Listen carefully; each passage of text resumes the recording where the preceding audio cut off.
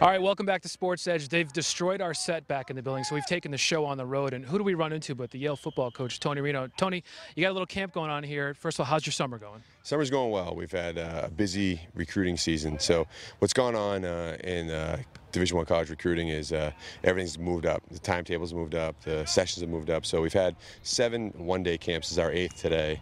Um, so we got about you know a couple hundred kids here working out, running, lifting, and and um, showing their skills in the field. So it's great. It gives us a great opportunity to show them Yale as well.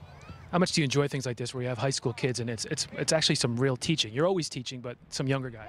It's it's you know it's great. It's it's, uh, it's one of the things you love about spring ball, where you're just teaching skills, and, and you get these guys that come here, and uh, you know they're they're really looking for um, anything, offense, defensively, looking for that one thing that help them get better. So it's pretty rewarding when you get a chance to send them off with something that can help them prepare for their season eight and two last year. Have you have you taken that moment where you've down, sat down on a weekend or you know driving in the car and had a chance to reflect about the successful year you guys had last year? Yeah, I think you know when you when you look back at it, I remember I gave a, a alumni talk. I was in San Francisco and I was driving my uh, driving to my hotel and and um, you know thinking about it, it just was one of those moments that hit me. It was a you know it was a it was a good year, not a great year. Um, so you feel good about the fact that you've made progress, but not at all satisfied by where we are. And um, you know I think that uh, the, the, the end of the year, um, you know, that that game is sat. It's tough in our stomachs for all of us, myself, our coaching staff, and our players. So um, we definitely have a lot of things to work on and, and get better at for this fall.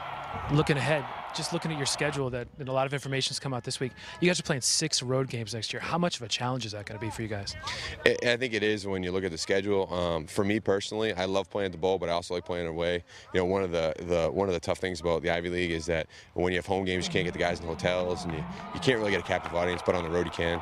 So um, I love our team. I love our kids, and we've got such a tight knit group of kids. It's really a lot of fun. We go when we travel. Heading into year four of you being the head coach here, yeah, what would you say is the thing you've maybe learned the most over the last couple years? As far as learning day by day with our with our team and our family, um, you know, take things one day at a time um, and really, you know, stay dedicated to the process of, of what we want to be and not not think uh, big picture. Think about how we can get better today, and uh, that's probably the thing I learned the most going into last season um, by just focusing on the team and focusing on how we can improve daily. And I think it really paid dividends for us, and you know, you to continue to do that day, day after day and day in and day out. You've announced some changes to your coaching staff. You're bringing back a former captain, a new running back coach, but you also have uh, made a change. Larry Ciotti is now kind of trying to retire, but he hasn't really done it yet. More of an administrative role. Uh, what is Madison's favorite son going to be up to these days? Yeah, Connecticut's favorite son. Um, so when I was hired, uh, the first call I made was to Larry and said, "Hey, you know, I need you." And uh, he agreed to give me three years. And um, so when at the end of the year he said, "Hey, I'm think I think I'm going to step down," um, I wouldn't let him step down. And uh, I, I said, hey, I'd like you to like to stay with the role. Um, so uh, we've been very fortunate with Tom Beckett. He's been you know unbelievable for us and, and created a position for Larry um, where he's an advisor to me and, and and Tom as well and for our athletic department and you know dealing with alumni and dealing with our team and our players. Um, so he'll be in you know three or four days a week. He'll be all over the place with us, whether it's alums or practice field or game day environment. But really being an advisor and for me, he's been um, an incredible mentor. You know I've been very fortunate to have guys like him and Carm and Jack that and Tom Beckett that have been great mentors to me. Um, and uh, you know, having him around day in and day out has been has been really really something that uh, I really need. Team 143 is going to be kicking off in about two months. Are you going to take some vacation before then? I hope.